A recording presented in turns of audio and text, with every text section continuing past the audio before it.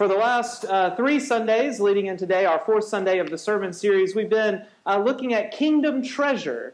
And all of our sermons on kingdom treasure have come from the same chapter in the Gospel according to Matthew. It's chapter 6, where Jesus is giving us lessons like the first week where your treasure is, there your heart will be also. And then we had uh, seek first the kingdom of God and his righteousness, and all these things will be added to you as well. Last week, you cannot serve two masters. You will hate the one and love the other. You cannot serve God and wealth.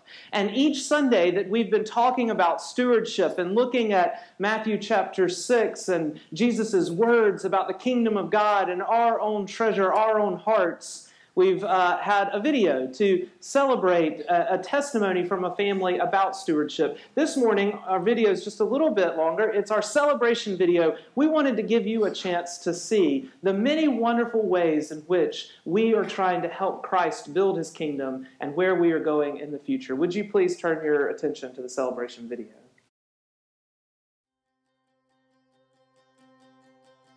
Hi, this is Pete King, and I will have the great privilege to uh, fill the role of the lay leader for Perdido Bay United Methodist Church coming up in 2018.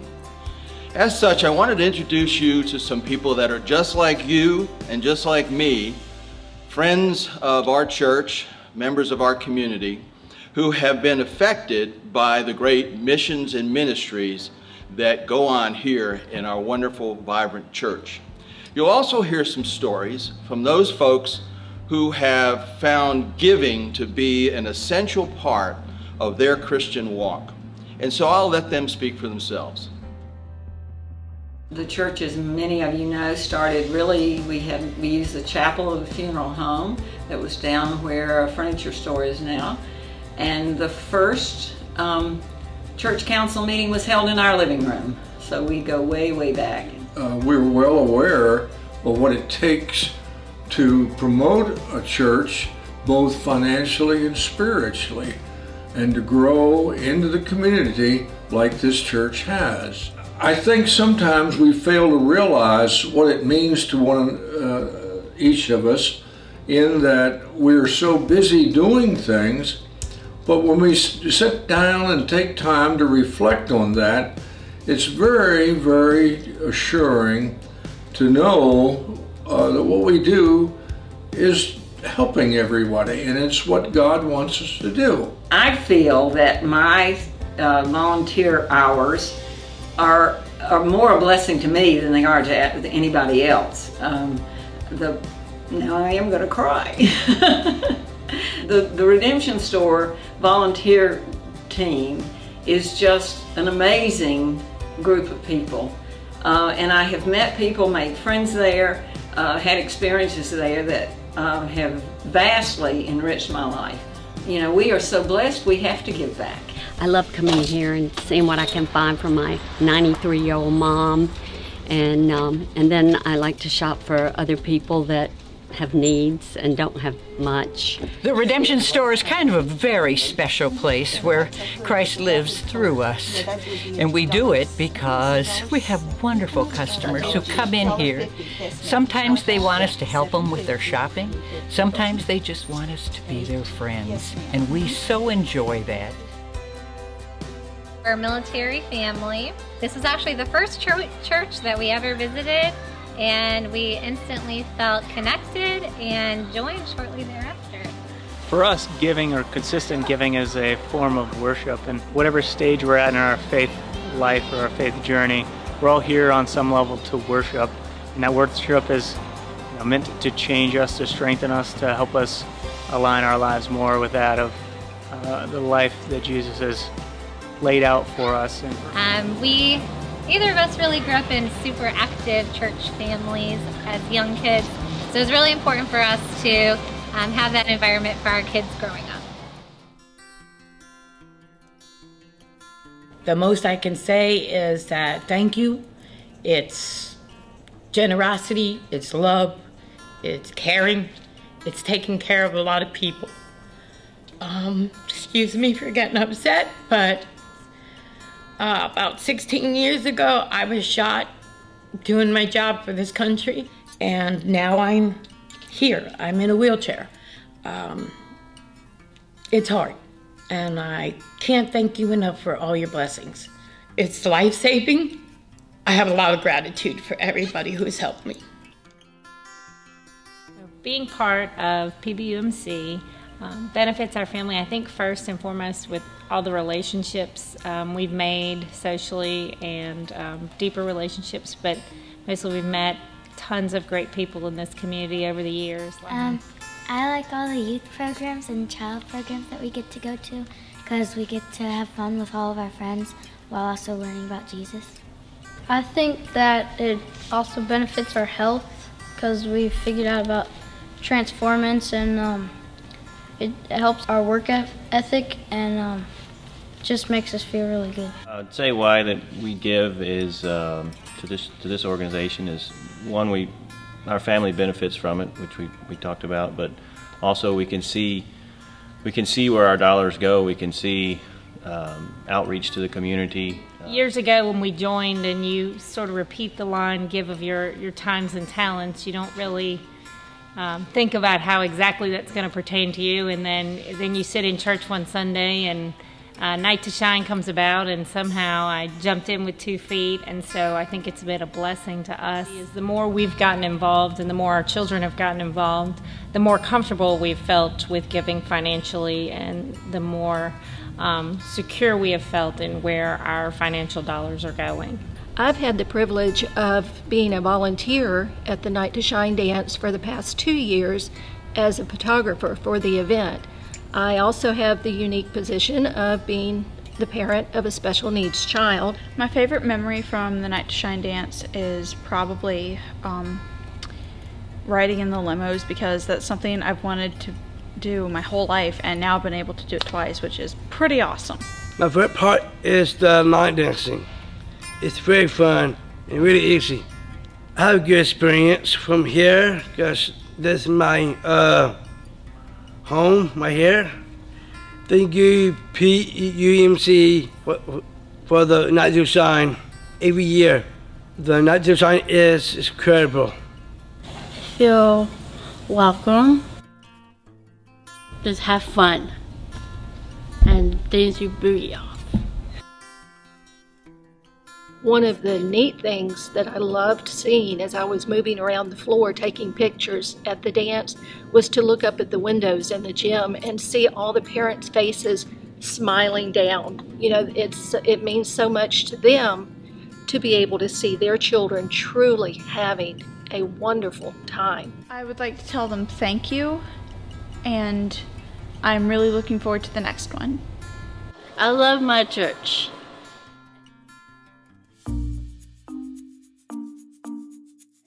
I'm Daphne Whitley. We're here at Global Learning Academy, where Perdido Bay has a ministry called BOB, which stands for Battle of the Books. What we do is we provide um, classroom sets of 15 books to the school, and then the third, fourth, and fifth grade classes read those books, and every other week, um, volunteers come in and have a book club with the kids. This program is so great and wonderful. Our kids get really excited when the volunteers come to read. They just love them and they treasure when they come in and every day they ask when are our Bob people coming. Bob has just been such a wonderful program and we are so blessed to have this at our school. All the mentors that I've had have been very close to me and I really love them and also I've opened up a lot more having them there and when I came home the, um, the first day third grade that they came, I told my mom so much about it, even though she probably was like, oh, you're rambling too much. So, yeah, it has, it will always and forever have an important part in my heart. And I can't thank Miss Daphne and all the other volunteers enough. I think that um, community is incredibly important to our church. Um, and I think that community extends outside the walls of our church and outside of our zip code. Inspiring and uplifting. But there's more that you should know. You should know that the church staff and the leadership here have a great sense of responsibility to the gift and to the giver, a sense of stewardship. And if you look around, you can see evidence of that all throughout our church campus. you can find a youth room where our young people gather for fellowship and to be nurtured. Even parking for 500 worshipers on a Sunday. Two places to worship, Sunday school rooms, a staff that administers all of God's work, two wonderful pastors that lead us through God's kingdom and all that He would have for us. And ministries and missions that go as far as Africa or as close as Acquaporta. And so I want you to know that the gifts that you give are well managed and you can help in that regard too. This is a pledge card that we'll be filling out during this uh, Pledge Sunday. Of course, you can fill it out now and turn it at any time at the church office. And you should know this may be the most important tool that our finance committee and that our church leadership has in managing and planning what goes on at Perdido Bay United Methodist Church and how we fit into God's work. And so I ask you to cheerfully and prayerfully consider all of what we've seen before us today and that you would uh, send your pledge card in so that we can plan for the future of Perdido Bay United Methodist Church. Thank you. This is the morning where we ask those who are committed to our church, who are a part of the body of Christ here, to do as Pete was just talking about. And if you didn't bring uh, your pledge card with you this morning, we do have them available in the back. And if you're visiting with us and don't have one, we certainly understand. It's just part of the life of what it means to not only be a Christian, but to be a part of a church that we plan for a Sunday like this, and we hope all feel uh, welcomed here this morning. My name is uh, David, and I'm one of the pastors uh, with Levi. I join in welcoming you. And this morning, as we continue to look at Christ's word to us from Matthew chapter 6, I would invite you to stand for the reading of the gospel. Therefore, I tell you, do not worry about your life, what you will eat or what you will drink, or about your body, what you will wear. Is not life more than food, and the body more than clothing. Look at the birds of the air. They neither sow nor reap nor gather into barns, and yet your heavenly Father feeds them. Are you not of more value than they? And can any of you, by worrying, add a single hour to your span of life? And why do you worry about clothing? Consider the lilies of the field, how they grow. They neither toil nor spin. Yet I tell you, even Solomon in all his glory was not clothed like one of these.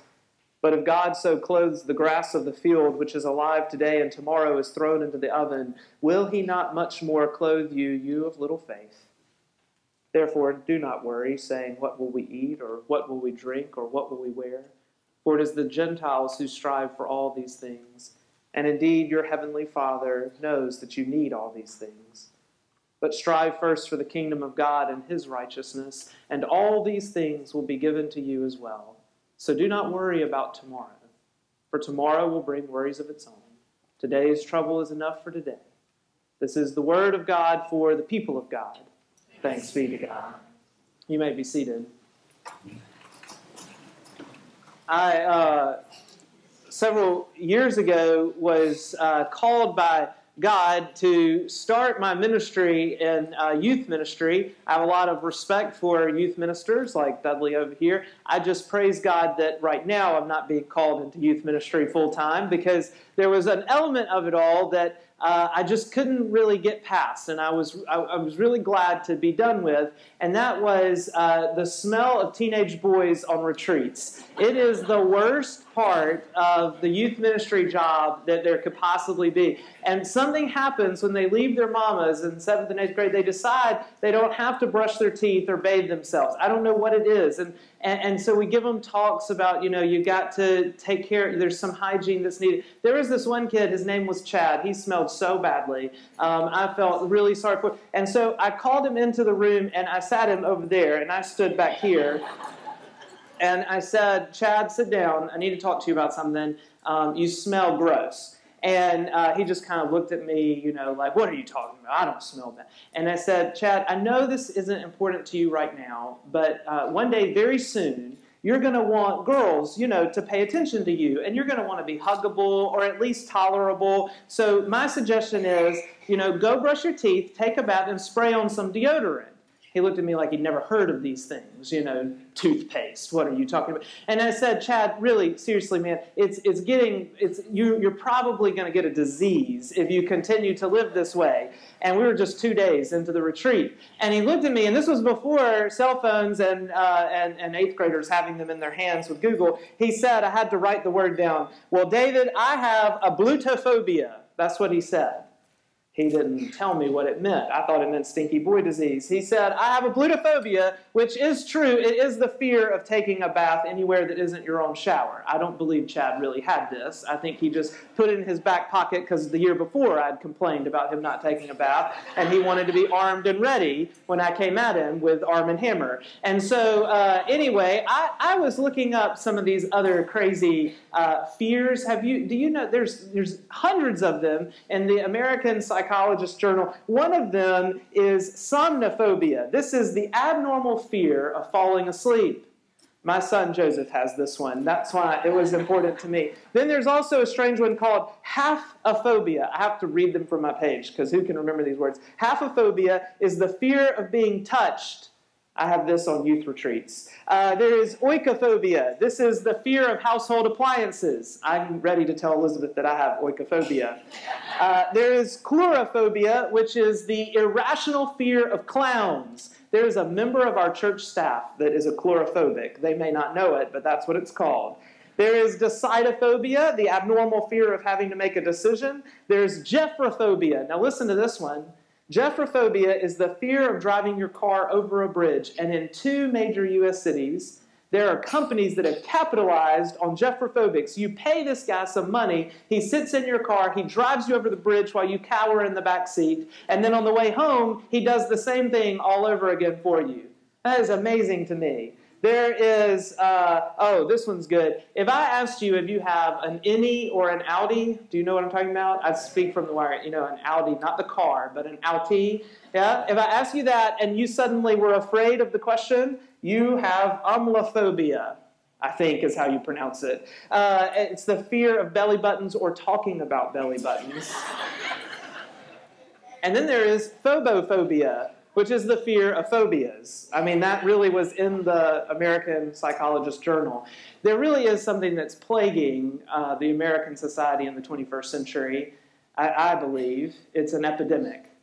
Because if you look at the definition of epidemic, it's really just any disease that in a given human population over a given amount of time extraordinarily exceeds expectations. And I think that the epidemic we're suffering with today is worry. Seems like everyone I talk to is worried every day about something or someone or, or some matter. 50 million Americans have been diagnosed with anxiety disorders, and that says nothing about the millions more who are just stressed out to the max. We are in the age of anxiety and of worry. And a lot of times our worry is over family, finances, time, energy, future, how all these overlap and intersect. But as long as people have been worrying, there have also been this great group of people writing songs telling us not to worry and comforting us in our worry.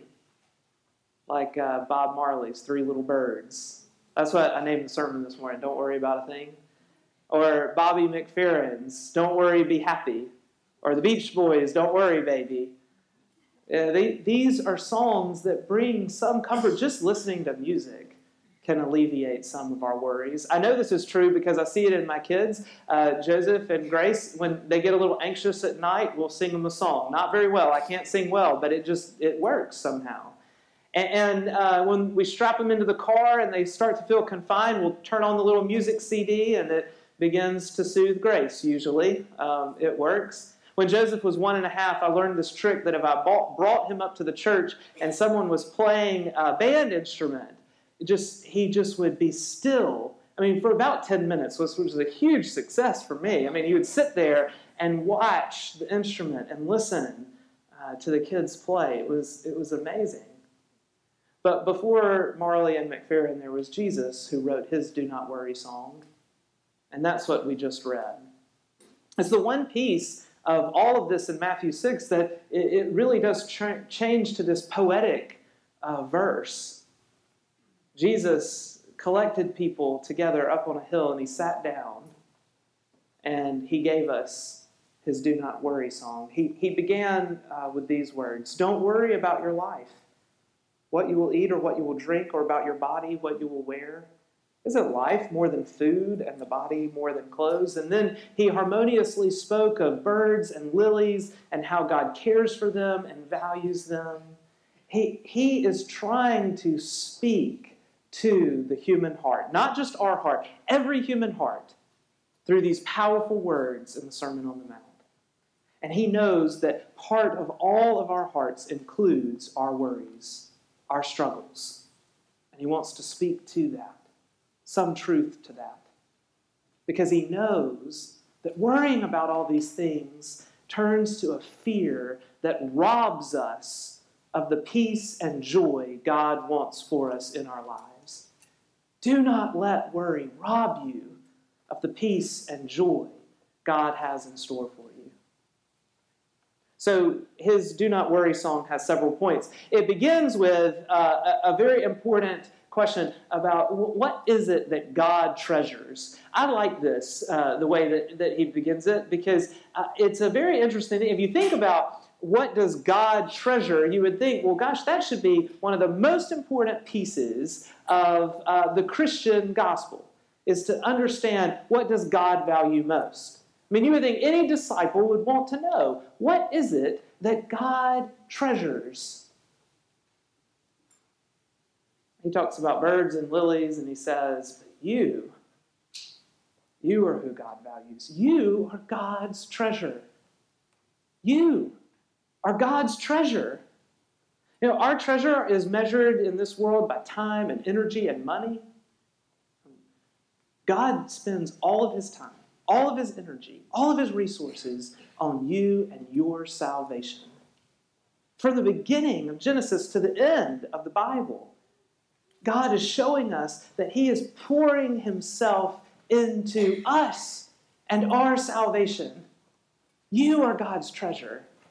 And understanding that you are God's treasure is the beginning of understanding good stewardship. And it's the beginning of understanding a path to worrying so much less. So Jesus continues and he asks this question Who among you, by worrying, can add a single moment to your life? You know what happens, what adds to your life when you worry is just uh, stress and uh, burden, and it actually deteriorates. This is not just theology, this is science. Worrying takes away from the physical body the emotional self, the physical and spiritual self. That, that worrying breaks down instead of builds up. And so, what is it that we can do? Well, we can seek first God's kingdom. That's Jesus' solution. Don't seek after this money that is spoiling your life. Don't try to build your own kingdom. Seek after God's kingdom and His righteousness, and all these other things will fall into place. It's the healing of greed, which is at work in all of our human lives, trying to rob us of peace.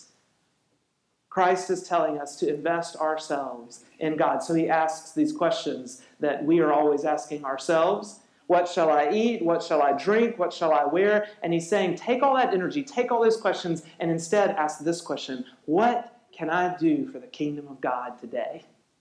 Instead of waking up and wondering about the self, what is the kingdom of God like? And how can I be a part of the kingdom of God?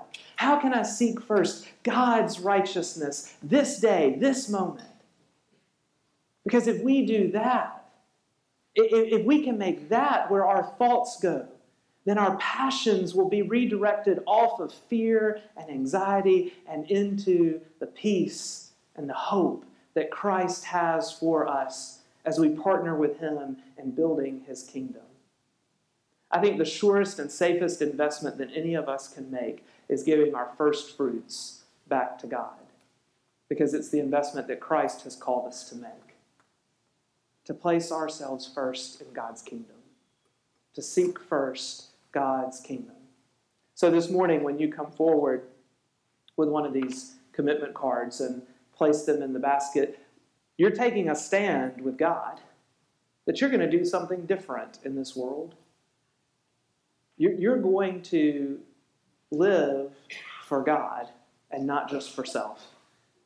You're taking a stand for Christ and his kingdom. But you're also taking a stand with God for yourself. It's a statement that you want to have more peace in your life, that you want to offer yourself first and foremost to God, so that you can have less worry and less stress, because surely our God in heaven will care for those who've placed their hearts in his kingdom. Now, does this mean that if I turn in a pledge card, I won't have any bad things happen to me and I never have to work again? Of course not. That's not what it means when it says God will take care of us. What it means is that when those struggles happen, which will happen in everyone's life, whether they keep everything for themselves or not, is that our hearts will be situated already in God's kingdom, in God's company of peace and life. You see, even if bad things may come in my life or of my life, I will know if I've made this commitment to Christ that my life will first and foremost be about doing good in this world for Jesus Christ. That I and my family, we will be giving to be one piece of the big puzzle that is the body of Christ at work in this world, feeding and clothing and caring for people in Christ's holy name. I want my life to have purpose in this world, and purpose comes from being a part of the building of Christ's kingdom. So, my first fruits, my first investment is as Christ has called me to give, it is in God's kingdom.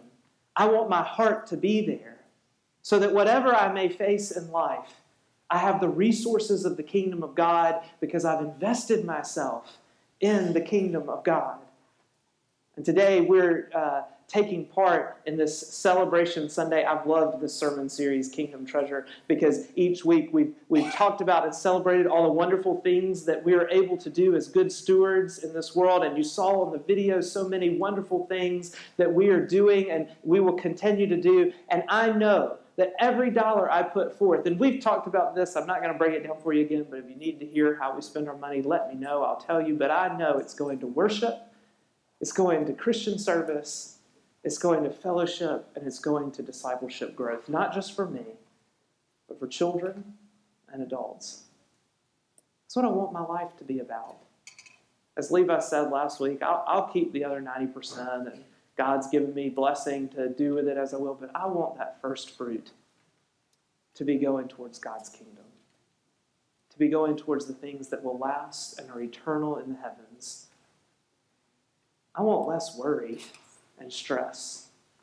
I want to put myself in God's holy hands.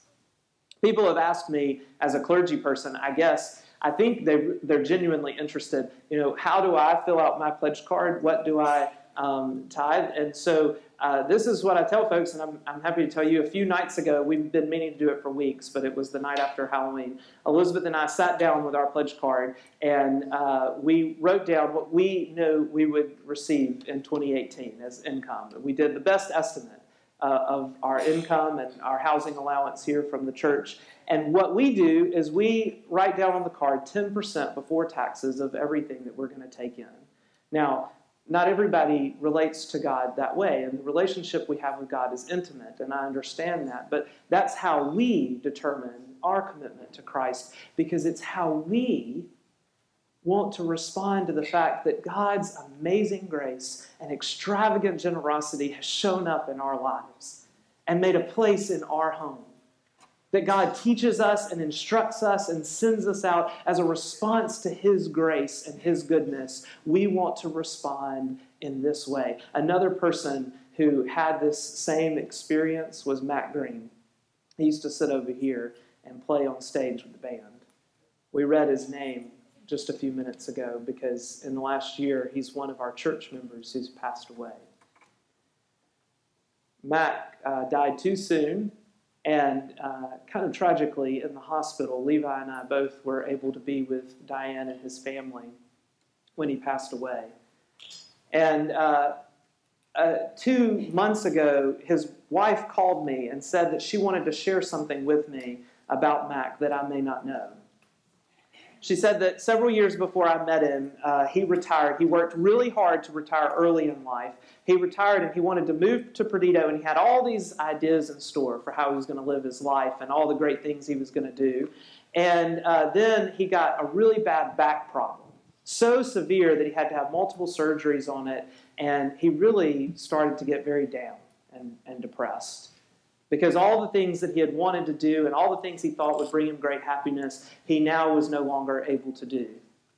And she said that then he started showing up to band and got involved a little bit at a time and then became more involved and started putting his time and his energy into this worship service and into this place, inviting people, encouraging people to help and to participate he started giving some of their money to this church and to the worship service and the ministries of the church. And she said in his last few years of life, he had more joy than he had ever had in his life before. He found so much joy and life, Diane told me, in being a part of this band, this worship service, this church. So he left some gifts for us as, as he went from this world onto the next. But the greatest gift is his witness. That real peace and joy can be found in making an investment in God's kingdom. As I reflect on All Saints Sunday and I think about eternity, where I'm headed, I think about faith that saves me, and a faith that strengthens and sustains me for each day, a faith that teaches me not to worry I sometimes wonder if my faith is as deep and as wide as it needs to be. You may be asking those same questions. You may feel emptiness somewhere in your heart. God has spoken to our heart. And He says, Trust. Trust in me, in my commands. If you want to make a step that will strengthen your faith, try trust and obedience. Because where Christ is leading us, it's where we all want to be, need to be, are called to be. It's hard not to worry. And this world will let you down. But God will not. You are God's treasure. The question is do you treasure Him? Do you treasure His kingdom? Do you believe He can care for you and create for you blessings you cannot create for yourself? that great is God's faithfulness, then what Christ has said is place your treasure in the kingdom of God. Place your time, your energy, your money in the kingdom of God, and your heart will follow. There's no greater place for your heart to be than in God's kingdom. And your heart will always follow your treasure. Right after he tells us you cannot serve money and God, he says, Do not worry. And he says it over and over and over again. Do not worry. Seek first God's kingdom and his righteousness. All these things will be given to you as well. We have the holy privilege placing the first of ourselves into the kingdom of God, of making this commitment to trust him and his care. In the name of the Father, and of the Son, and of the Holy Spirit.